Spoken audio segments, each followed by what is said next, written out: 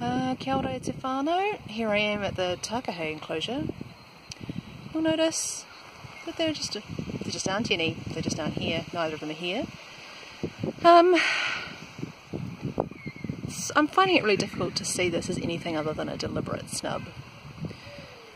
So, just a message to the Vote Takahē campaign. I mean, guys, you know, didn't you learn anything from the Dirty Politics book? What you, what you were meant to learn was to not be, not do that. That's what you were meant to learn.